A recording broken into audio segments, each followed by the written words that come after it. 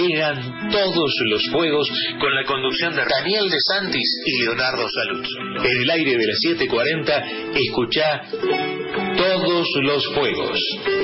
Todos los juegos queman distinto. Una lluvia de rosas también te incendia. Aire varias veces, este, y ahora tenemos la suerte de tenerlo en vivo y en directo.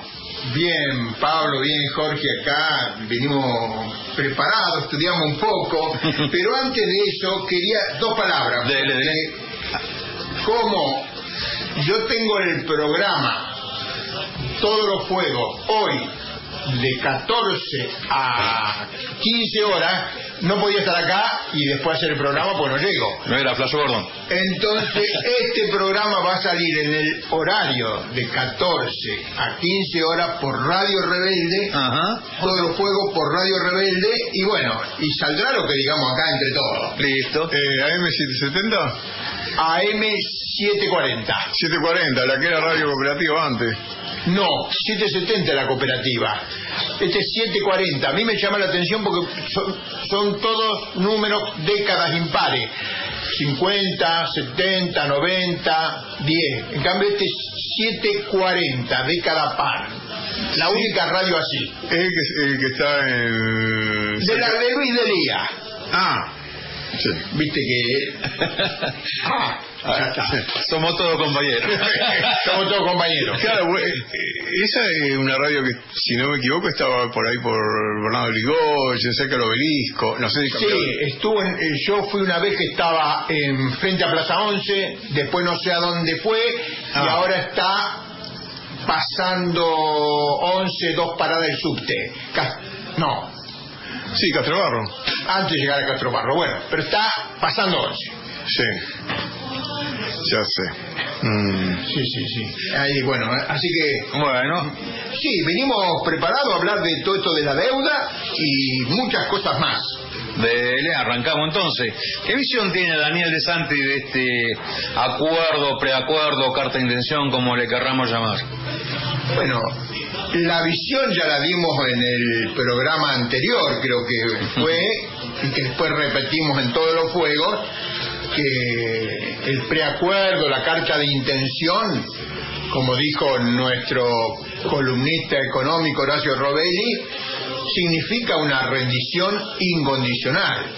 Porque esta parte de la deuda, porque digamos que esta es una parte de la gran deuda que tenemos, la parte de la deuda con el Fondo Monetario Internacional, se han explicado hasta el hartazgo las razones por las cuales es ilegítima, es ilegal y es un fraude, e incluso reconocido por- el mismo Macri. El mismo Macri reconoció que era para posibilitar que los capitalistas de los fondos de inversión y otros capitalistas que se quisieran ir de la economía argentina se pudieran ir, porque para irse se necesitan dólares. Porque acá la economía funciona en pesos.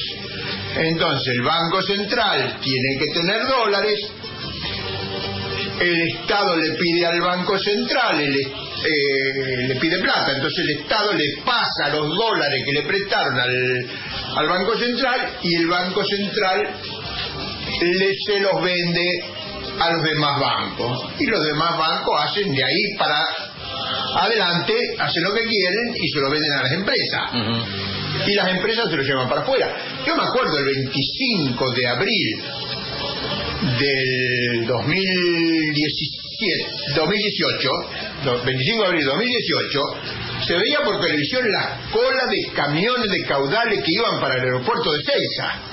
Que yo no me imaginé que eso era real, pero sí era real. Sí. Sí, porque ni siquiera tuvieron la, la, digamos, la, no sé decir la viveza, por decirlo de alguna manera, de hacerlo por transferencia bancaria, no, con los billetes en la Se mano. fueron con los billetes. Ese día solo se fueron 1.225 millones de dólares. Un día. Y bueno, de ahí siguió. Todo el mes y medio, dos meses siguientes, siguió yéndose la plata. Fue el robo más grande del siglo eh, de la humanidad, no de la Argentina. Porque no se conoce en la no es del siglo, de la historia universal no se conoce un, una defraudación, un robo de esa magnitud. Y como y ahora este gobierno que dice ser nacional y popular, que ya hace bastante que viene dejando de serlo, como dijo compañero peronista Horacio González, intelectual, presidente de la Biblioteca Nacional, compañero con, este, bueno, de la trinchera, de la juventud peronista, cuando fue lo de Vicentín, dijo, se abre un panorama triste y gris ahora. Y bueno, tuvo razón. y ahí empezó ese panorama que cada día es más triste, cada día más gris y cada día más este gobierno está realizando el programa de, de los grupos, de los grandes grupos económicos, de los monopolios, de capital extranjero y nacional. Este, bueno, no está realizando ningún programa a favor del pueblo sigue aumentando la inflación, sigue aumentando la pobreza, sigue la desocupación. Bueno, ¿qué tenemos que defender este gobierno? Hay que criticar y decir la verdad. Una pregunta, Daniel, vos recién comentabas que en esas fechas eh, era muy elocuente ver los camiones llevándose la guita. Eh, y en esa época, y después cuando ganó este gobierno que tenía mayoría en la Cámara de Diputados y en la Cámara de Senadores, ya por 2019 no hubo ninguna voluntad política de investigar y ver quiénes fueron los responsables, quiénes permitieron eso de, las autoridades de, esos tiempos? Evidentemente no hubo voluntad política porque todos los datos están en poder del Banco Central. Incluso el periodista Horacio Berbisky publicó los 100 primeros este, jugadores por, ahora no recuerdo exactamente, pero unos 26 mil millones de dólares. O sea que lo hablamos en el programa anterior. Para ir a comprarte la moto te piden este. Sí, sí, sí, fue porque acabo de comprar una data, análisis de sangre tuve ah, bueno, análisis de sangre, etcétera. Imagínate. Libre de deuda, todo. Todo.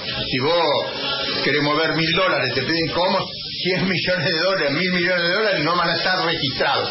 Se sabe exactamente quién se lo llevó, a dónde se lo llevaron, dónde están. No hay voluntad política porque parte del juego de la burguesía es una de las banderas principales de la burguesía es la movilidad de los capitales.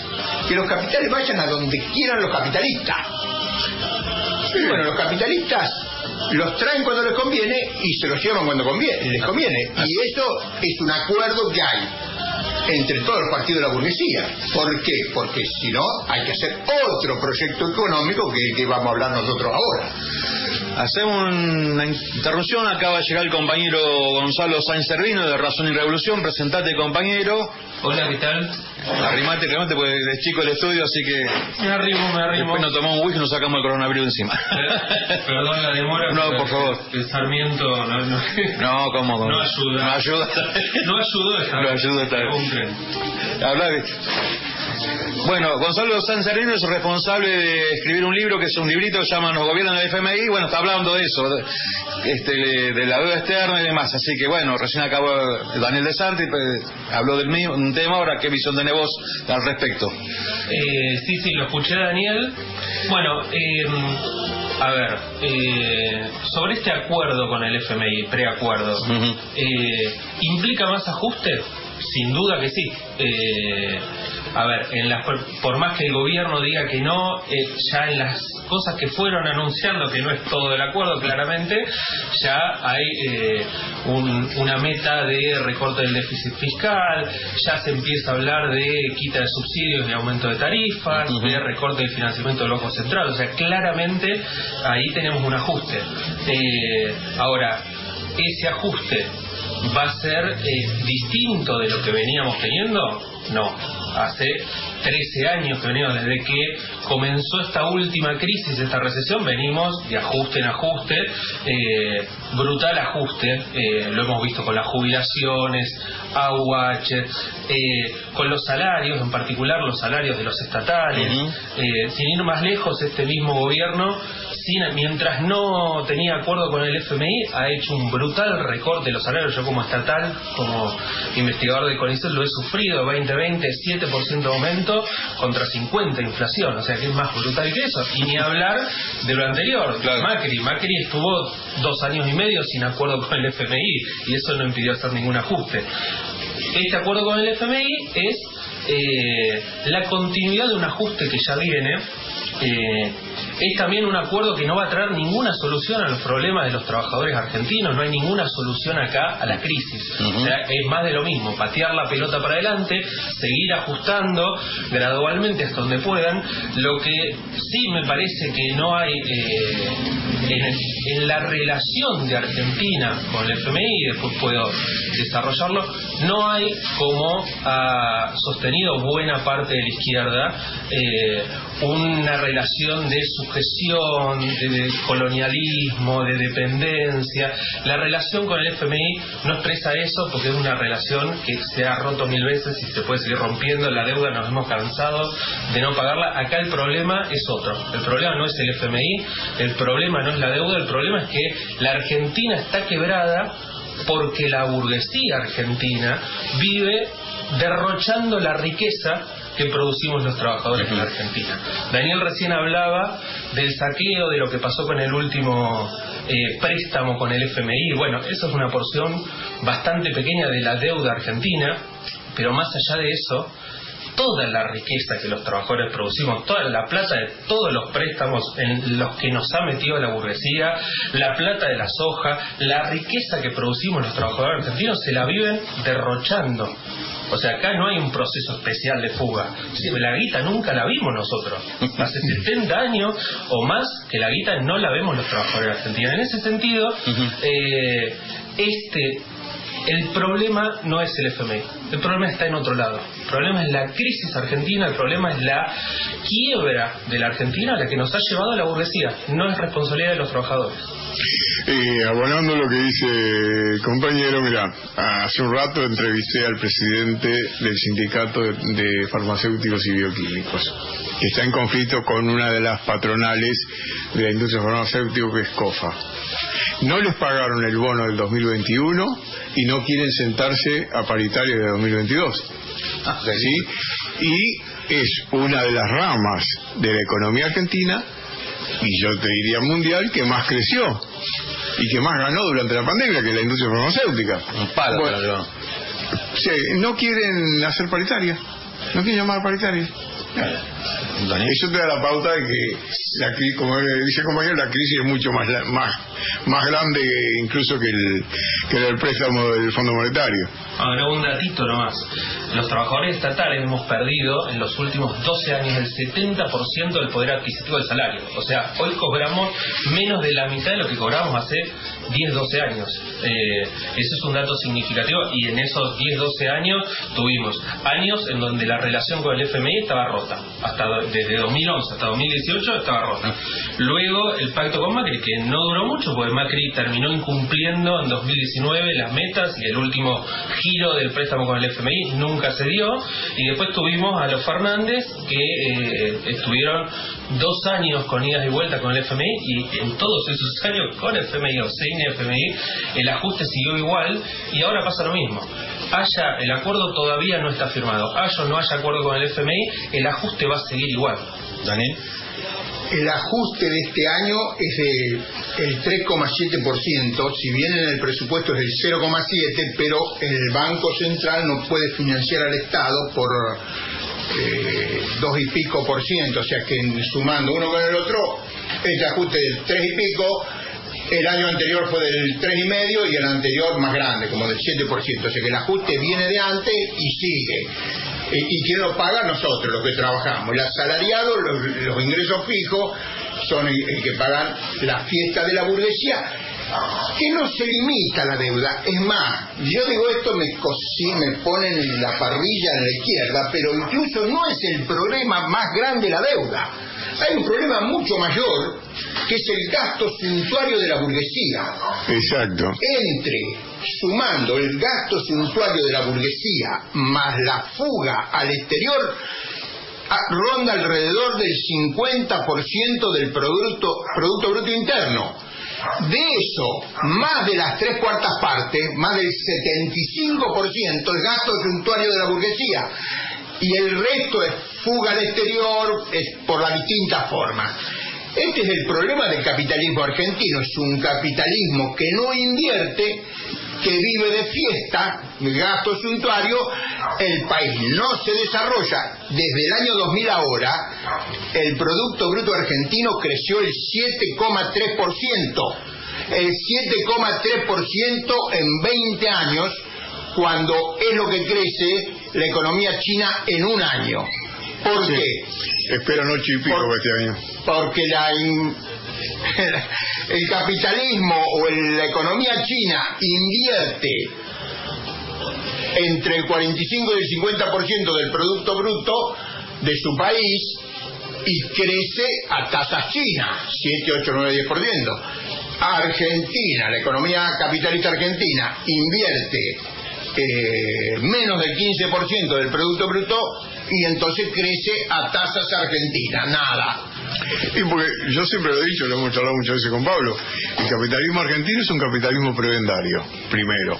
Segundo, nunca invierte lo suyo. Cuando alguna empresa capitalista, algún sector del capital, de la burguesía, decide o habla de una inversión, primero se asegura exención impositiva, se asegura plazos de, de- para no pagar, 5, 10 años, 20 años, que sea. O sea, trabajan con la plata del Estado, del bolsillo de ellos no sale un mango y como te decía con la industria farmacéutica eh, empresarios que mm, se hacen dos tres viajes a Europa ¿sí? que cambian el auto todos los años que llevan un nivel de vida santuario esos son los que por ejemplo no quieren convocar una paritaria ese, ese es el eje de la crisis argentina es una burguesía eh, rapaz y prebendaria y encima, bueno, en, muchas cosas estamos como en el siglo XIX, cuando traían mármol de Carrara para, para, la- para hacer los edificios de las estancias en, en- medio de la pampa. bueno, está muy igual. En eso está muy igual. Una pregunta para los compañeros. Este, bueno, la que, descripción que acaba de dar, entonces pareciera ser, va, pareciera ser, no. La realidad concreta es que en esto, la década ganada fue un blues, entonces. No hubo década ganada para los trabajadores. Lo que hubo fue un, eh, unos años de bonanza producto de una circunstancia particular que cada tanto le pasa a la Argentina, que fue el, el- el aumento muy importante de los precios internacionales de las mercancías agrarias, en particular la soja, es como eh, que han, le han dado a la Argentina un plus que luego se acabó. Macri intentó compensar eso con deuda y se quedó corto. Se, se le fue todo al diablo, eh, se le cortó el chorro de la Sí, deuda. no me pareció nunca los Ah. verdes. Lo que no pasó ni en la década ganada ni con Macri y no pasa hace 70 años es un cambio estructural en la Argentina que permite un relanzamiento de la acumulación capitalista de largo plazo.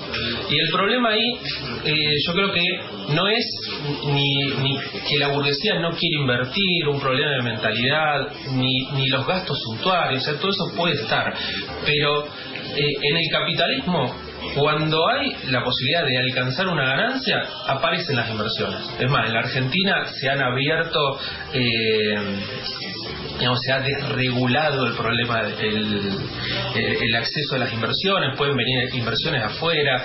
En la Argentina no hay inversión por parte de la burguesía porque en la Argentina no hay negocios, eh, no hay negocios rentables que nos permitan, salvo dos o tres cosas por ahí, o eh, el lugar donde invierte la burguesía argentina, los negocios con el Estado, eh, le- proveedor del Estado, vender servicios al Estado, eso sí, siempre en la Argentina, eso siempre funciona. La obra pública.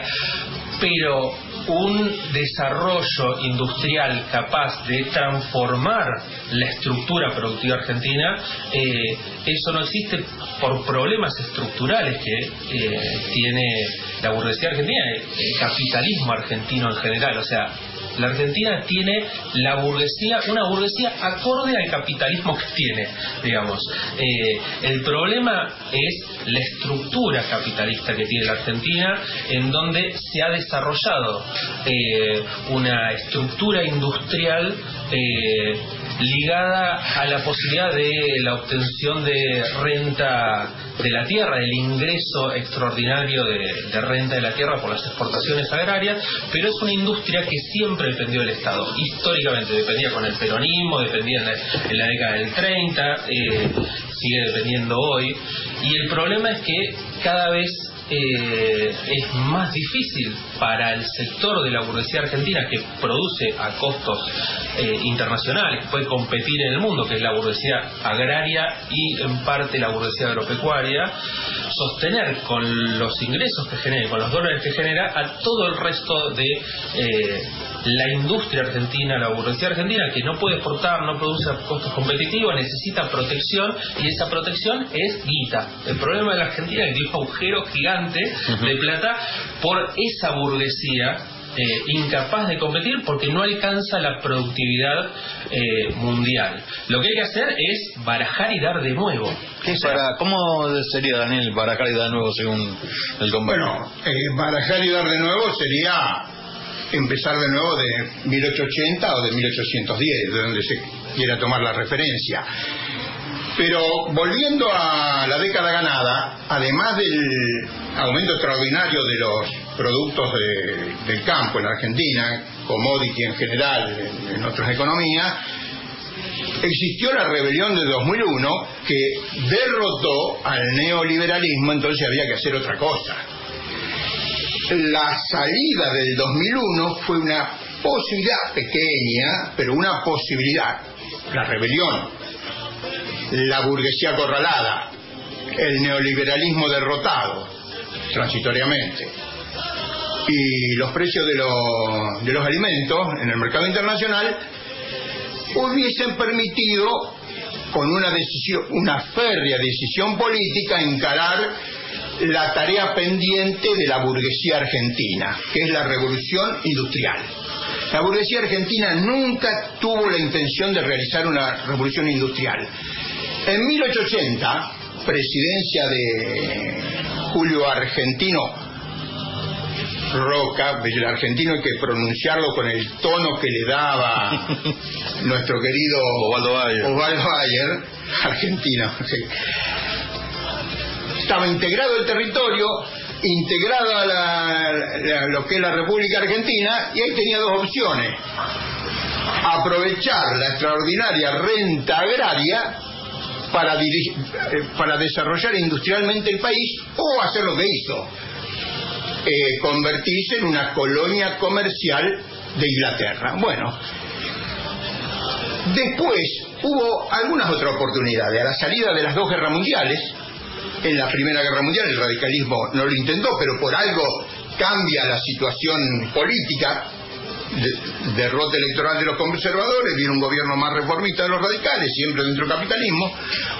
Otra posibilidad hubo durante la, a la salida de la Segunda Guerra Mundial, ahí sí un, un intento de revolución industrial apoyándose en el aparato del Estado, apoyándose en la oficialidad del ejército, en el alto nivel de consumo en el mercado interno, movilizando a la clase obrera, pero tenía un talón de Aquiles la burguesía industrial, la débil burguesía industrial, que progresó, pero cuando progresó se transformó en, burguesía, en gran burguesía, abandonó el frente peronista y se pasó a la, bueno, a la revolución libertadora y digamos, se frustró el intento de revolución industrial porque la burguesía, que es la que estamos juzgando acá, no estuvo dispuesto.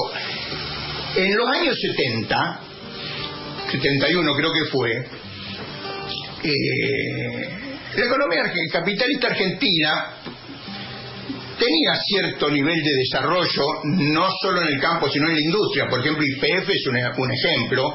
IPF, una empresa estatal que tenía alto grado de eh, tecnificación, un proceso integrado. Ustedes fíjense, IPF es una, una empresa importante, desarrollada, integrada, fue vaciada por los militares, porque no era la, IPF de, fundada en los años 20, no era la IPF que agarró Menem, la vaciaron los militares y hacían comprar caro y vender barato y después Menem la privatizó, ¿a quién se la vendió? A Repsol.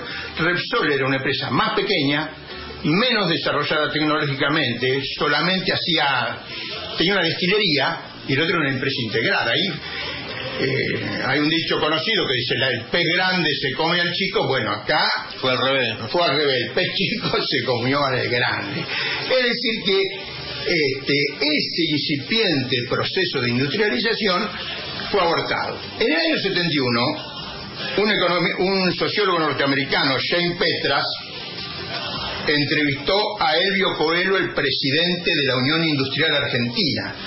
Y, y, Coelho le explicaba a Petras, bueno, estas cosas, IPF, lo que, la industria química, bueno, distintos desarrollos eh, de la industria manufacturera en la Argentina. Entonces, Petra, intrigado, le pregunta, y bueno, ¿y por qué no intentan la revolución industrial? No sé si lo dijo con esas palabras, pero bueno, más o menos esa era la conversación. Porque la clase obrera es muy numerosa, bien está bien organizada y podemos perder. Sí, la burguesía argentina es argentina y tiene su componente argentino porque como explica bien Milciades Peña, un joven eh, autodidacta, plantea que el capitalismo argentino tiene sus particularidades. Acá el gran desarrollo capitalista viene del campo, pero el desarrollo industrial, manufacturero, dice Mercedes Peña, va del campo a la ciudad. Y Adam Smith, fundador de la economía política clásica, ahí me acordé, usa entre muchos otros términos para describir a la clase terrateniente que la situación cómoda le provocó una actitud de indolencia, es una clase indolente.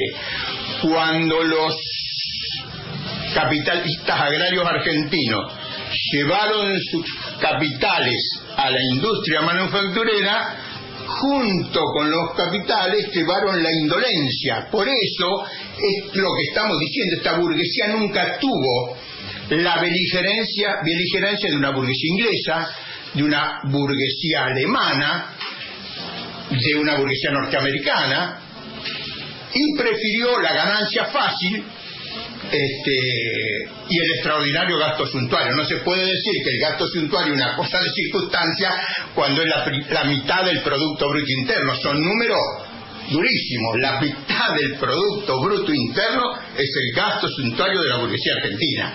Podemos hacer cinco revoluciones industriales. Y a eso es lo que tenemos que apelar a evitar la fuga al exterior, porque tenemos un Producto Bruto Interno, 400 mil millones de dólares en el exterior, por eso defienden tanto la movilidad de los capitales de la burguesía argentina, y tenemos cada dos años otro Producto Bruto Interno que se gasta en gastos suntuarios. Mire si tenemos de dónde hay recursos para desarrollar la economía argentina y en pocos años, eh, bueno, tomar las tareas que después podemos explicar que corresponden al desarrollo de una revolución industrial. Pero aclaro, antes que me digan algo, que después de 150 años de historia, queda claro que la revolución industrial no la va a hacer la burguesía, ningún sector, y es una tarea que debe realizar la clase obrera acaudillando al conjunto del pueblo, la clase obrera en el poder. Gonzalo.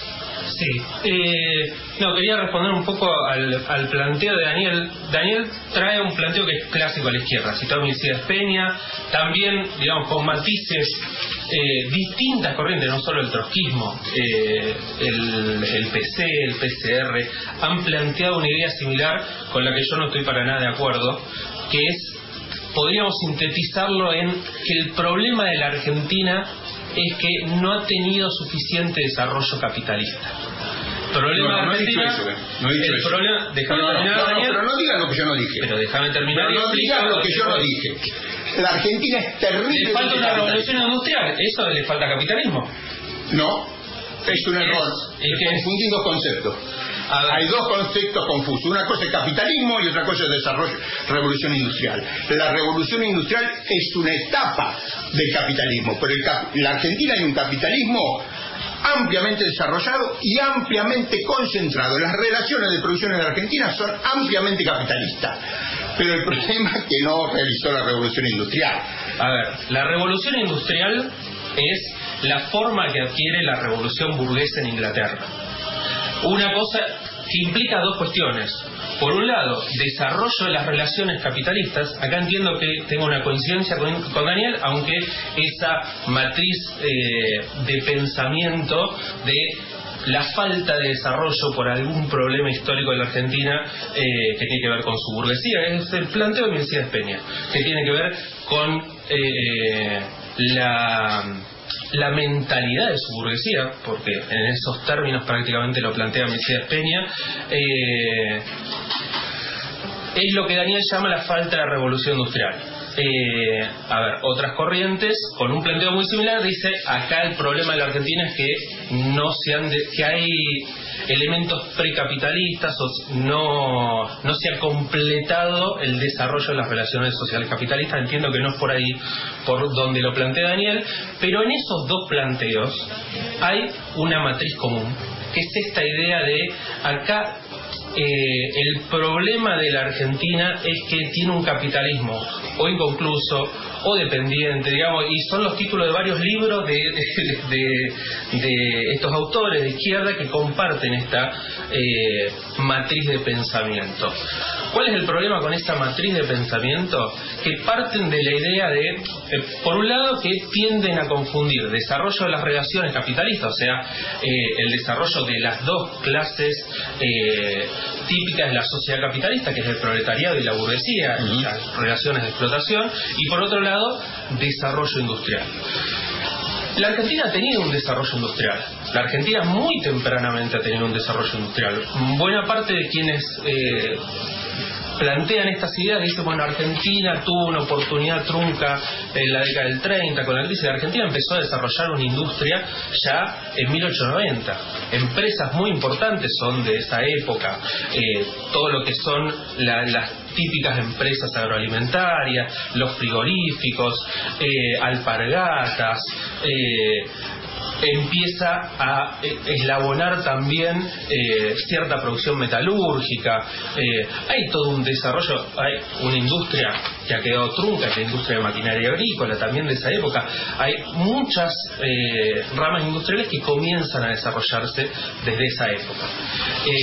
ese desarrollo tiene un problema estructural, que es que la Argentina, como país capitalista, llega tarde al mercado mundial. Cuando llega al mercado mundial, el mercado mundial ya está copado por empresas con un eh, por, por, una burguesía con un mayor desarrollo, con mejores costos y no puede conquistar esos mercados. Ese es un problema. El otro problema que tiene es que tiene un mercado eh, interno muy chico. O sea, no hay en la Argentina la suficiente cantidad de mercado, de población, para justificar grandes inversiones industriales. Eso conjugado con un eh, con, una sociedad capitalista, en donde cada capitalista toma la decisión de invertir o no en función de sus posibilidades de ganancia, da una burguesía que invierte en lo que Argentina es rentable. Y lo único que, que en Argentina es rentable en términos industriales es aquello que está protegido por el Estado. Como Argentina tuvo desde un primer momento una producción agraria muy competitiva, muy desarrollada, plenamente capitalista, que aportaba divisas para sostener esa industria, esa industria crece, esa industria se desarrolla y tenemos eh, grandes empresas capitalistas de un nivel muy avanzado de desarrollo, Techin, las que fueron las empresas metalúrgicas y siderúrgicas de, eh, del grupo Brown, la Sindar, eh, la química y la petroquímica. Ahora, ¿qué sucede con todo eso? Que son industrias que a pesar de su tamaño nunca dejaron de depender de la protección del Estado. Techint al día de hoy hace un desarrollo en vaca muerta y el Estado le tiene que subsidiar, por eso digo que el problema más importante no son los viajes a Europa de los empresarios. El problema más importante es que en vaca muerta el Estado desembolsó miles de millones de dólares en subsidios porque producir en vaca muerta tenía un costo de 7 pesos, de 7 dólares el barril de, gas.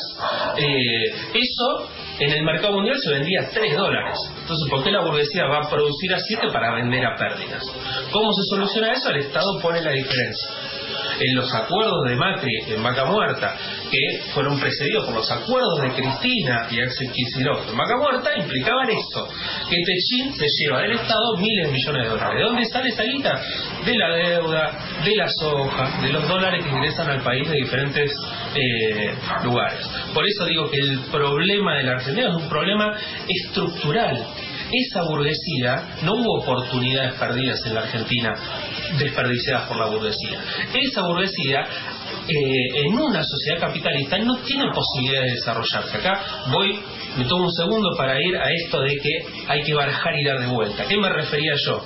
La única salida a esto, al FMI, a vivir pidiendo deuda, a vivir en, de crisis en crisis, a que, vivir sufriendo el ajuste, la única salida a esto es la revolución socialista.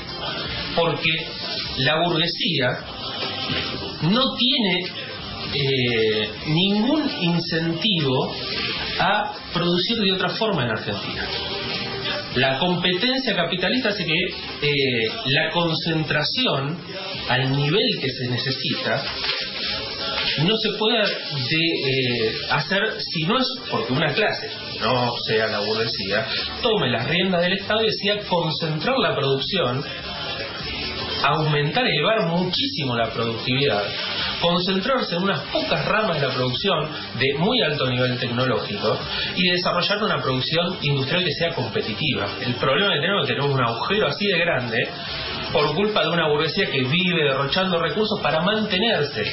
No es la fuga, no es que se la fuga, no es que se la gaste en Europa, es sostener las industrias que se producen en la Argentina implica una enorme transferencia del Estado por, de, las más diversas maneras. Subsidios directos, exenciones impositivas, baja de costos laborales, dos millones de maneras. Todo eso todos los argentinos le terminamos poniendo todo el tiempo un montón de guita a la burguesía para que se sostenga al nivel que se sostiene. Daniel.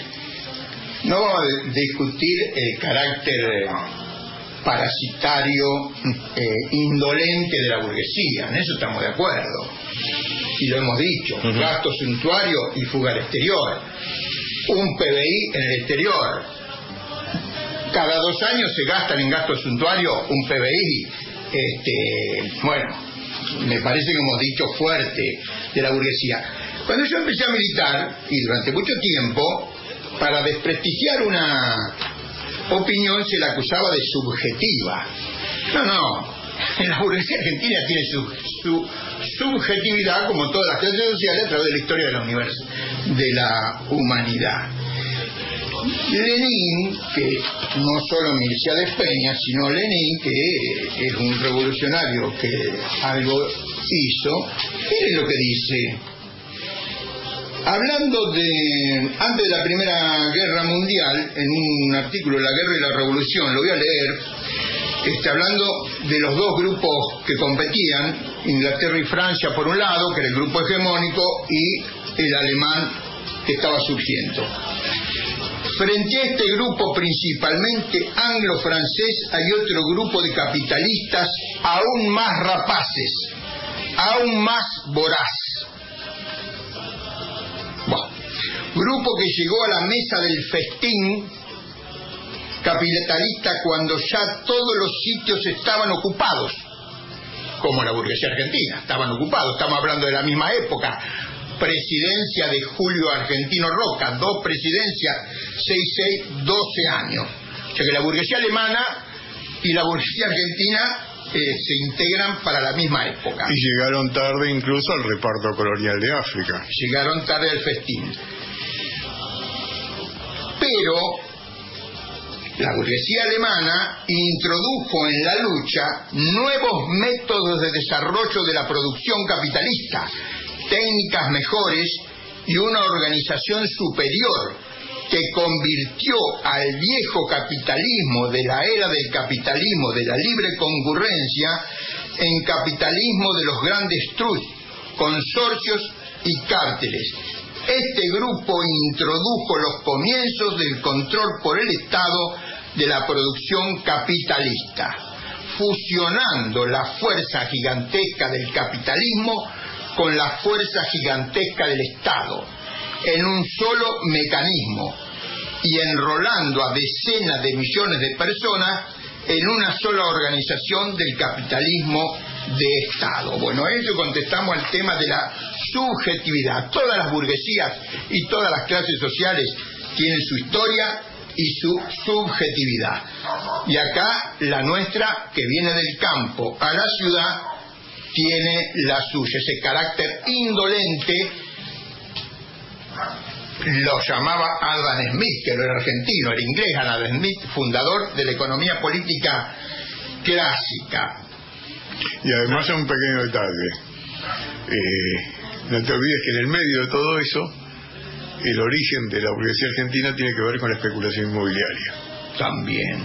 Bueno, Burrich. Burrich es la tierra de los indios que, que va matando y el Burrich venía alambrando atrás. La mal llamada conquista del desierto fue en realidad una gigantesca operación inmobiliaria. Burrich, que es el, el emergente actual de esa de lo que está diciendo. Una cosita si puedo sobre Alemania. Espera, déjame terminar. Dice, ante esta situación, ante esta clase social, la burguesía argentina que no tuvo las agallas, la decisión, no solo el mercado chico, ese es un argumento bastante liberal, este, sino que, bueno, ya me he explicado por qué no lo, no lo hicieron. Esta, la revolución, el que va a re- eh, solucionar este problema del desarrollo, sí es la revolución socialista, pero la revolución socialista no es una varita mágica que con la palabra socialista vos vas y tocas y haces florecer este, Los los bienes. eh, eh, no, no, tenés que, tenés que hacer la revolución industrial. La primer tarea de la revolución socialista es la revolución industrial, porque no le, los socialistas no le podemos ofrecer a las masas y a la clase obrera repartir la pobreza. El socialismo, con Marx, era y es este, eh, destrabar el desarrollo de las fuerzas productivas, hacer eh, el reino de la abundancia y la distribución de esa abundancia entre los trabajadores. Hay una consigna que yo siempre estuve de acuerdo, este, que es reparto de las horas de trabajo. Eso es una consigna populista que glorifica el capitalismo atrasado. Entonces tenemos que repartir la pobreza del capitalismo con seis horas de trabajo. No, tenemos que hacer estallar la fuerza productiva, tenemos que hacer la revolución industrial y el socialismo se podrá desarrollar con la riqueza y con la plena ocupación del mejor dicho la riqueza se va a multiplicar con la plena ocupación de la fuerza de trabajo de los millones de trabajadores y trabajadoras que hoy no tienen trabajo. Compañero. Eh, no, sobre el tema de Alemania, me parece que no, no se puede comparar, Lenin no está hablando de Argentina en esa cita que trajo Daniel, más allá de que yo creo que hay que estudiar los problemas concretos más allá de lo que hayan dicho Lenin, Trotsky. Eh, a ver, no se puede comparar a Alemania 1917, eh, que está participando en una guerra mundial, con Argentina, que es, un pa- 1980. que es un país... eh, 1880. 1880 que es un país con Argentina, que es un país que en 1880 estaba fomentando inmigración, porque no tenía población, no tenía gente para que labure. O sea, estamos. eh, Alemania es un país cuya revolución eh, burguesa es previa a la Argentina, cuyo desarrollo capitalista es previo a la Argentina, pero además Alemania es un país que parte de condiciones completamente diferentes. La Argentina, recordemos, 1860, 1870, 1880, estaba importando materia prima para producir, gente para laburar. Eh, es un país con una situación completamente diferente. Eh, más allá de eso, coincido con Daniel. eh, no en esto de Alemania, me parece que, que ahí estamos completamente de acuerdo, ¿eh? No pero- lo entendiste. Ahora, ahora podés, podés replicar. Eh, coincido con Daniel en que eh, socialismo no es una palabra mágica. Hay que pensar, yo tiré un par de eh, elementos que tiene que contener ese desarrollo capital, eh, ese desarrollo eh, socialista. Lo que me parece que, no es, y volviendo a lo que nos trajo acá, lo que me parece que, no podemos plantear el problema es el FMI en los términos en lo que lo está planteando la izquierda, porque eso da la idea de que rompiendo con el FMI, desconociendo la deuda, da la idea de que Argentina es un país rico, que tiene todo, pero que hay un eh, elemento externo que está presente en estas explicaciones que criticaba antes de la izquierda sobre el desarrollo capitalista en la Argentina. Argentina tiene toda la riqueza del mundo, tiene todo lo que se necesita y lo único que tiene que hacer es desembarazarse de cuatro o cinco tipos que derrochan guita porque se les canta y de los amos imperiales que eh, tienen no sé qué interés particular en eh, saquear a la Argentina. Me parece que ese tipo de planteos, que el problema es el FMI, que el problema es la deuda, por supuesto que son parte del problema, ¿eh? A ver, el, Ah, FMI, bueno, ahí vamos a el FMI es parte del problema. Ah. La deuda externa argentina es parte del problema, pero no son el corazón del problema. Corazón del problema es que la Argentina como país capitalista está agotado, está quebrado, está fundido. Está fundido por una burguesía que lo trajo hasta acá y que no puede hacer otra cosa.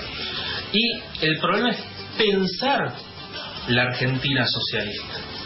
Si nosotros eh, intervenimos como dirigentes, como militantes de izquierda, de cara a las masas, diciendo el problema es del FMI, si no hubieran firmado con el pacto con el FMI estaríamos mejor. El ajuste seguiría igual. Si hubiera dado quizás de otra forma, peor, una mega devaluación, porque te, quedas sin dólares y ¿qué hacen? Devaluar. ¿Y qué es una devaluación? 2001, el dólar pasa de 3 a 1, la inflación se va a la mierda y nuestros salarios se van para abajo. Entonces, eh, que señalar que el problema es el FMI, que el problema está afuera, no acá, es eh, abrir un, primero, presentar un falso problema y falsas soluciones. Si no pagamos la deuda, las cosas se arreglan. Pero además, es muy peligroso porque ese tipo de discursos no construye a la izquierda, construye al peronismo construye a Cristina, construye a Kisilov, construye eh, a los tipos que nos vienen hundiendo hace rato en la miseria, en la pobreza, y que además, si el problema es el FMI, son los primeros en acordar y los primeros en pagar. El los peronistas, eh, el kirchnerismo, son pagadores seriales. Néstor Kirchner, en medio de una de las peores crisis de la historia, le pagó 10 millones de dólares cash al FMI y lo vendió como un acto de soberanía. Pagaste antes, no tenía que pagar. Lo mismo hizo Perón en el 74. Como hizo Perón en el 74. Y lo peor es que hacen eso y la cosa no se soluciona. Daniel. Eh, pero un- un- una cosita nomás para cerrar. Perón en el 74 pagó por adelantado la deuda con el FMI y en el 75 María Estela Martínez Perón estaba pidiendo de vuelta. ¿Por qué? Porque el problema es el capitalismo argentino y tienen que pagar y tienen que acordar para volver a pedir. Lo mismo pasó con Kirchner. En el 2006 pagó cash toda la deuda y en 2014, cuando se acabó la plata de la soja, Axel Kicillof está ar- arrastrándose atrás de Christine Lagarde, del Club de París. Le pagó el Club de París el doble de lo que se le debía, pagando todos los punitorios. ¿Por qué? Porque necesitaban volver a pedir. Eso, a eso nos lleva la burguesía argentina. Daniel. Bueno, acordamos dos cosas, ¿no es cierto? Que la- el problema es el capitalismo argentino, en eso estamos de acuerdo. Que el capitalismo argentino está agotado, estamos de acuerdo. Eh, y que la solución es la revolución socialista, estamos de acuerdo.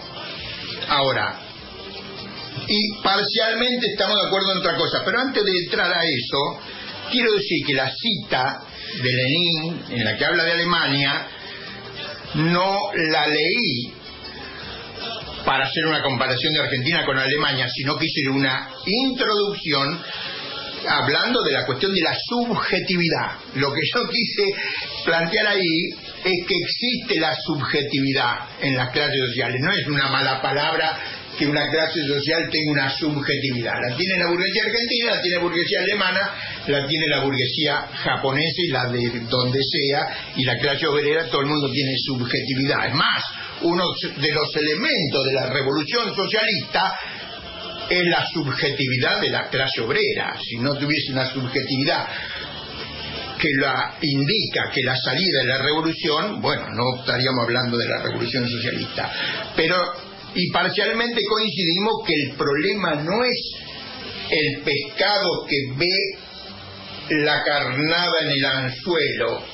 ¿Quién es el responsable de que el pescado muerda el anzuelo? ¿El pescador o el pescado? Hay dos componentes, más allá de no quiero entrar en el ejemplo, pero acá hay dos componentes. Tenemos la burguesía argentina y tenemos el imperialismo y el capital los monopolios, el capital financiero internacional. La Argentina podría no existir. La Argentina podría ser una provincia de Brasil, o nada, o podría ser 25 republiquetas, cada provincia una... No importa, no existir la Argentina. Ahora, el imperialismo existiría, no podemos hacer de cuenta que el imperialismo no existe. El imperialismo no existe, es poderoso y es el rector de la economía mundial. Y en esa economía mundial se tiene que mover la Argentina. Por eso yo apelo, apelo, una clase social, la clase obrera se tiene que organizar y tiene que tener una subjetividad revolucionaria para hacer las tareas que nos estamos planteando acá. Y es muy importante tener en cuenta la presencia del imperialismo, no para ir a buscar ninguna burguesía que le salve los papeles a nadie, porque la burguesía está demostrada en toda la historia argentina, incluso de antes de Roca, podríamos, pero no, para no hacer más historia, 1820, este, cuando íbamos a la escuela nosotros, vos que Jorge es uruguayo, en la escuela nos enseñaban la entrevista de Guayaquil y que fue un misterio Mentira, no hubo ningún misterio. Uno, eh, le negaron el capital a uno para que se con la empresa porque querían hablar con el otro. Le eh, Rivadavia le negó el rearmar el ejército del norte, entonces San Martín se quedó solo y dijo, bueno, Bolívar se, se Bueno, es más complejo, pero digamos, pero porque... Bueno, entonces, el problema es que tenemos que enfrentar ese poder internacional. Y acá aparece la historia argentina reciente el trotskismo orgánico plantea que el problema es que no tiramos más volante de la fábrica. Un absurdo absoluto. Tiramos millones de volantes, el presupuesto de propaganda era más grande que el presupuesto militar, millones, cuando digo millones, millones de verdad, por mes, millones de volantes, periódicos. El trabajo en la clase obrera se hizo bien, se construyó el Partido Revolucionario en la clase obrera. El problema es que el, del otro lado también juegan no es que jugamos nosotros solos. Por eso digo, hay que tener en cuenta que el imperialismo está jugando y la burguesía juega. Bueno, en los 70 jugó la burguesía y jugó el imperialismo.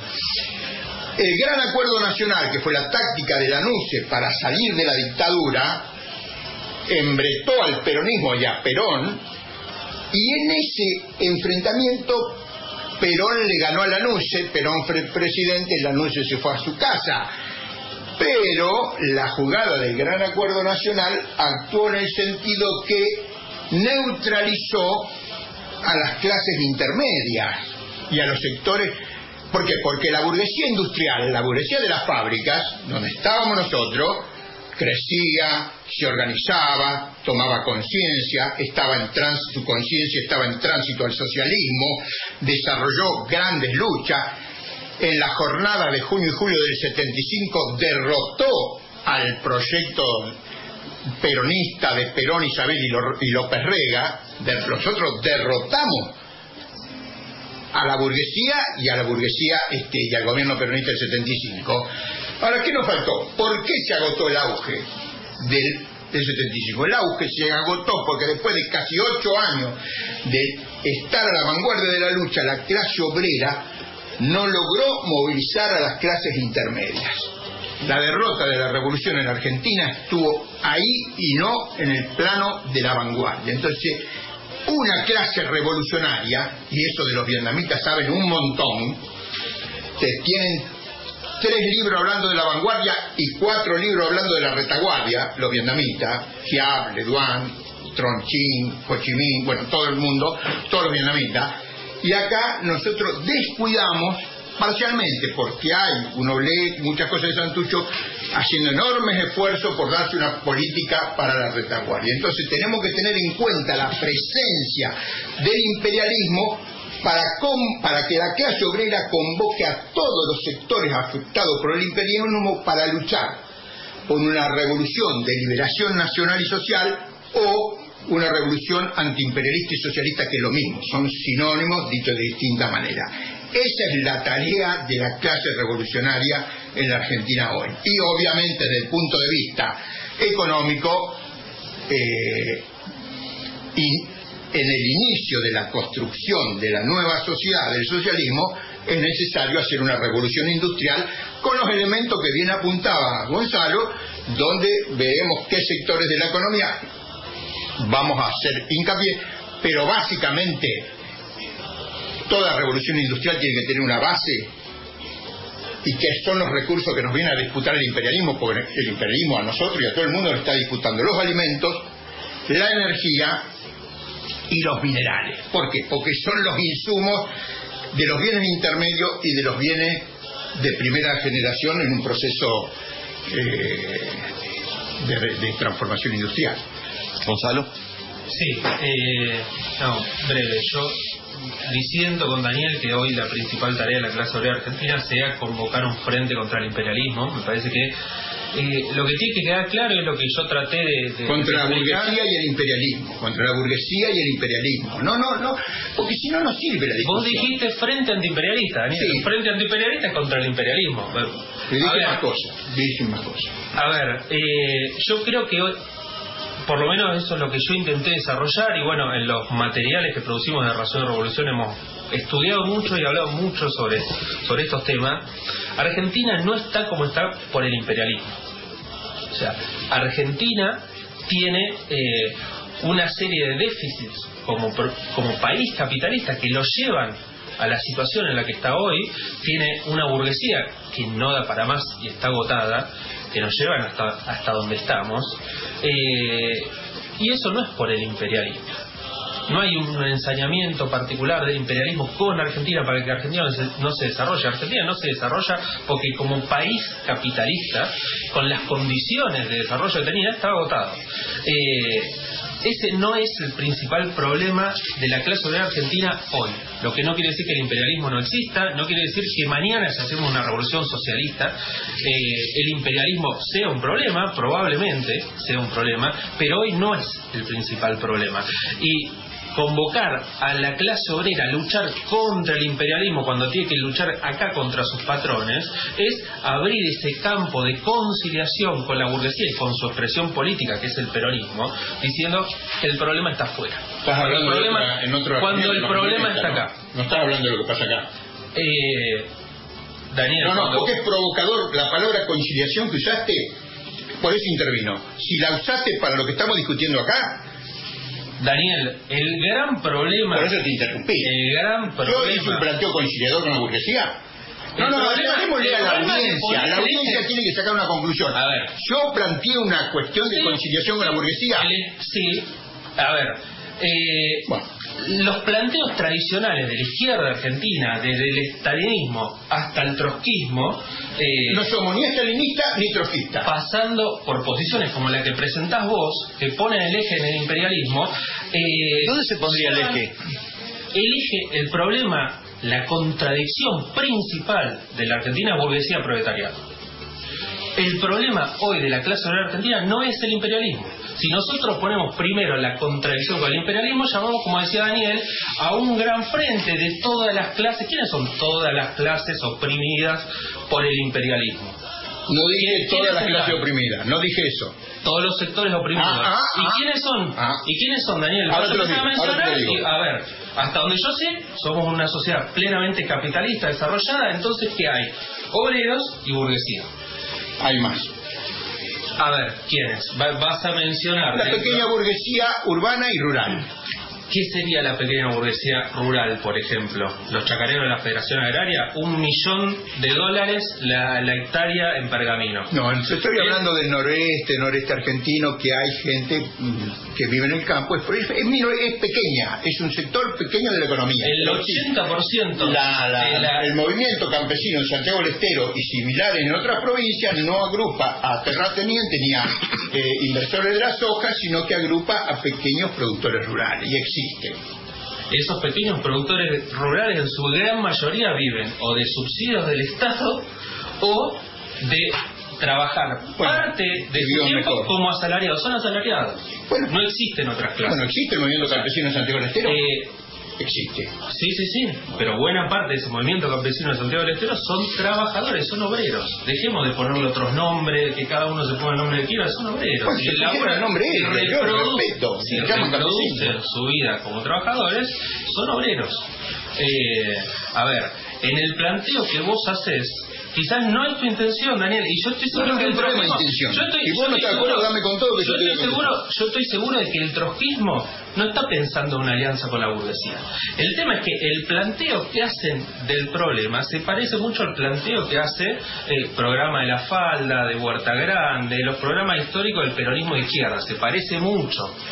¿Qué plantea de superador razón y revolución a esos programas? Porque siempre que hablo con algunos de ustedes, nos tiran. Yo soy la CTA y reivindico la falda, Huerta Grande, el programa de la Secretaría de los Argentinos, reivindico la consigna de una patria justa, libre y soberana la patria socialista, y cuando digo eso, ¡pum! a la mierda, lo tiran al, al diablo. ¿Qué propone razón y revolución para enfrentar y derrotar a esta situación que tenemos aquí ahora? Para nosotros el problema hoy es eh, la contradicción principal es burguesía, proletariado. El problema son nuestros patrones, la burguesía que tenemos. Lo que hay que hacer es echar a los patrones. Echar a los patrones, echar a la burguesía argentina, que el poder lo tome la clase obrera y a partir de ahí desarrollar las fuerzas productivas concentrando la producción, ganando en eficacia. Y ahí vamos a tener la riqueza que hoy no tenemos. Esa revolución socialista que plantea razón y revolución no va a ser pacifista. Por supuesto Ah, que no. bueno. Bueno, por fin coincidimos, ¿no? Porque si no... la otra vez le decía una compañera, gana, gana en una casa particular. Suponete que salía en los planetas, gana Razón y Revolución, por 65% de los votos, le expropiamos la burguesía. ¿Cómo se la decís? Che, mira, ganamos nosotros, nos corresponde, no te la van a dar, hermano. No. Que Perón, que era reformista, que todo lo sacaron como lo sacaron, a nosotros a los dos minutos. Allende no. Nosotros los Allende somos el que me Por eso- roco. por eso decía Sos que- consciente de lo que estamos diciendo, ¿no? Por eso decía que el imperialismo no es un problema hoy. Lo que no quiere decir que no lo sea mañana. Ah, siempre si es un problema. Porque si nosotros tomamos... No es el problema central de la clase obrera argentina hoy. Te hago una pregunta. Si nosotros Si, si no fuera un poder- problema, si no fuera un problema el imperialismo, ¿y para qué miedo se le sancionó la ley de terrorista? Si siempre somos los peligrosos los trabajadores. La ley antiterrorista... Es, fu- es función al imperialismo. La te lo pide el imperialismo, te lo La- exige el imperialismo. La ley antiterrorista se usó para reprimir la protesta interna. Exactamente. Contra- ¿Pero contra quién? los Contra trabajadores. argentina. Contra los Contra trabajadores. los trabajadores. Contra los trabajadores que protestaban contra la burguesía argentina, contra su gobierno. No se utilizó para reprimir una amenaza para Estados Unidos. No hubo acá amenaza contra Estados Unidos. Pero, pero ¿por qué te la pide el imperialismo? Porque sabe que esa amenaza puede ser local, pero se puede hacer para arriba. Ujú. ¿Daniel? Yo creo que hay que insistir que la- no hay que aislar a la clase obrera. La clase obrera aislada, la experiencia demuestra que es una línea de derrota. Peor ahora lo que está planteando Gonzalo. En los 70 la clase obrera se quedó sola porque le faltó fuerza a los partidos revolucionarios para rodearlo de los sectores intermedios, la pequeña burguesía rural y urbana. Hoy la línea de razón y revolución es levantar como correcta la línea de derrota que ganó la burguesía en los 70. La burguesía logró aislar a la clase obrera y de esa forma la derrotó. Y hoy esa bandera es levantada por, por razón y revolución. Y la otra bandera, que ahora que levanta razón y revolución, porque si nosotros defendemos al- a la burguesía, tenemos mucho más derecho de, ante lo que hemos escuchado para decir que acá Razón y Revolución está embelleciendo al imperialismo, cuando dice que el imperialismo no es el problema. Es parte del problema y es la parte principal del problema, porque el, el imperialismo existe, tiene la hegemonía mundial y desde Marx, Lenin, Silvio Frondizi, que no puedo encontrar la cita, y todos los revolucionarios del mundo han hecho los análisis partiendo de la situación internacional para ver cómo se desarrolla la lucha de clase en cada uno de los países. Nosotros seguimos siendo marxistas y leninistas y guevaristas, sí. No, trotskistas no somos, pero leemos a Trotsky y... Siempre logramos los trozos. No, no, leemos a Trotsky, dice. Ah, bueno. Leemos a Trotsky y, y tomamos muchas cosas, una cosa que acá pronuncio es de, de Trotsky. Justamente, ¿qué tomamos de Trotsky que hemos planteado acá? La clase obrera en el poder tiene que tomar las tareas eh, en el punto más alto que lo dejó, lo dejó la clase anterior y es en eh, los umbrales primer peronismo, en los umbrales de la revolución industrial, primer tarea de la clase obrera en el poder, en el poder es llevar adelante la revolución industrial, base económica del socialismo, Carlos Marx. Este, entonces decía, estamos polemizando con una, con una eh, línea política que es la línea de derrota del movimiento obrero eh, que lleva a, lleva al aislamiento de la clase obrera, por eso es una línea de derrota demostrado por la historia argentina.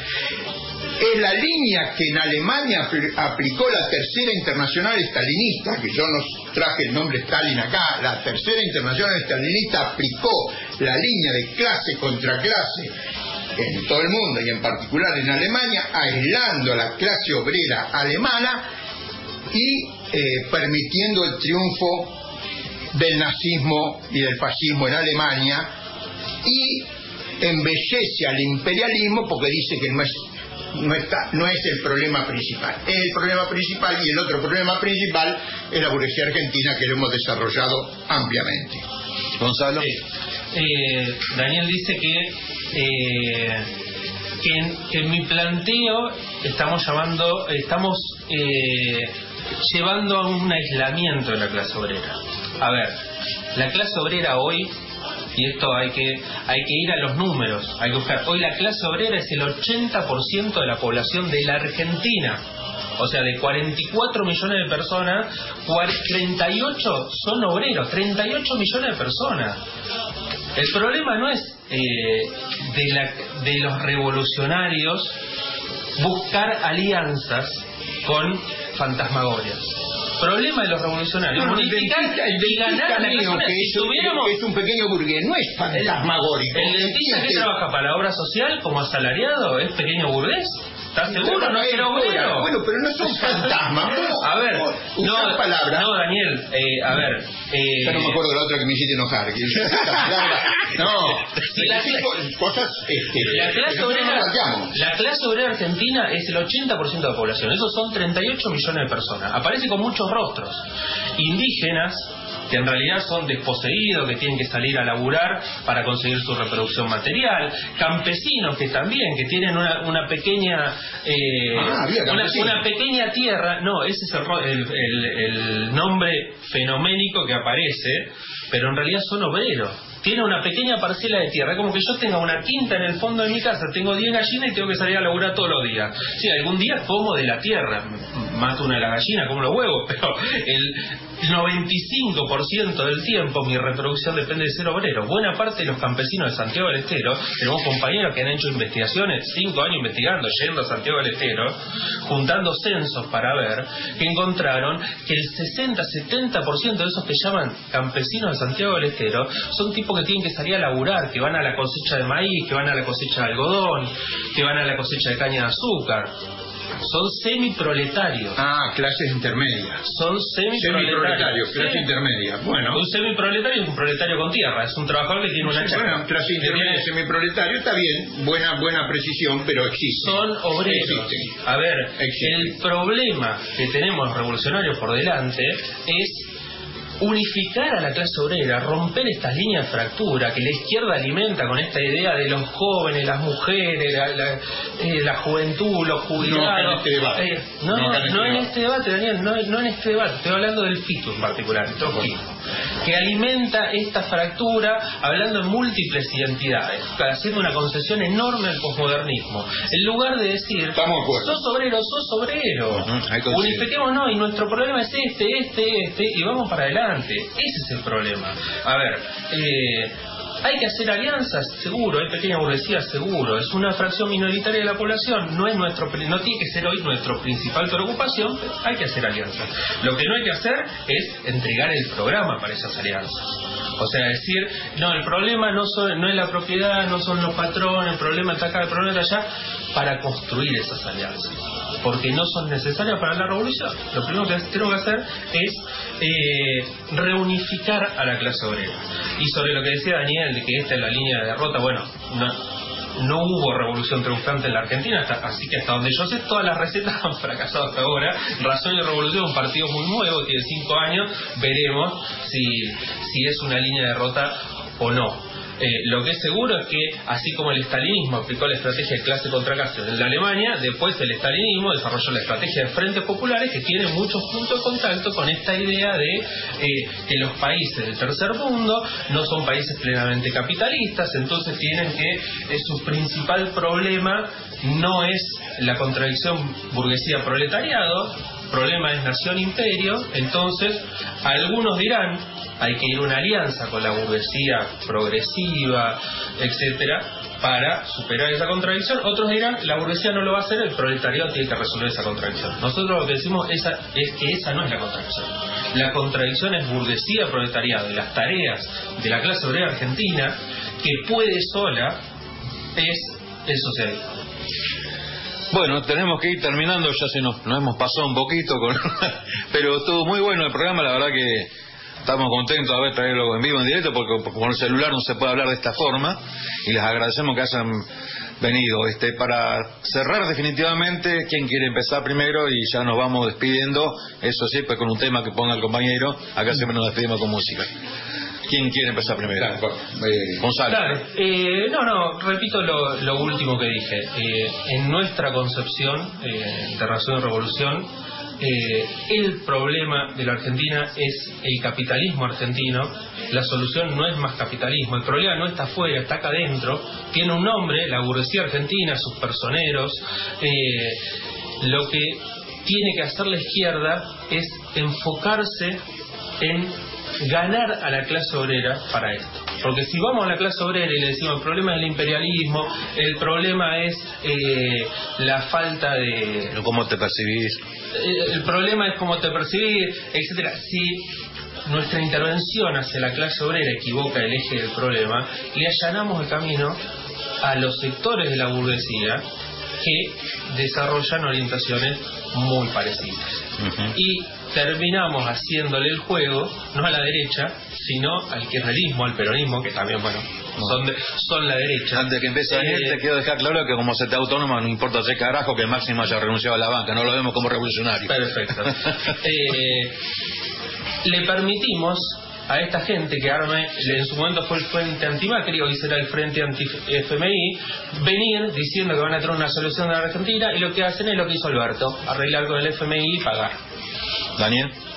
Bueno, acá tenemos un enorme problema que son las clases dominantes nacionales y extranjeras. El imperialismo existe, no es un tigre de papel, domina el mundo, existe el capital financiero internacional, decir que no es el problema es, bueno, salirse del mundo y Argentina está en el mundo. Entonces aparece la Argentina, aparece en ese mundo, dominado por el imperialismo y tiene una burguesía parasitaria, eh, bueno, ahí usamos el término este, una burguesía parasitaria, que no resuelve, no resolvió ni resolverá los problemas del desarrollo de la Argentina, es una tarea que tiene que tomar la clase obrera en su conjunto, los distintos sectores de la, burguesía, en los años 70 la burguesía industrial eh, manufacturera quedó sola, no logró reunirse del conjunto de la clase trabajadora y de demás sectores intermedios. Por eso es necesario un frente de liberación nacional y social, es decir, un frente antiimperialista y socialista